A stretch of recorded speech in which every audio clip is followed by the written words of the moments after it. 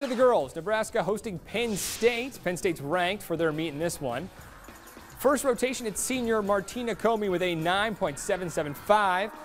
Moving on to the bars, it's Kinsey Davis. She's been the Big Ten Specialist of the Week with a 9.85 to lead the Huskers on the bars. Nice landing there. And then next on the beam, it's Csenge Bácskay with a career high 9.825. She just keeps breaking records. And after a close battle, Nebraska takes down Penn State.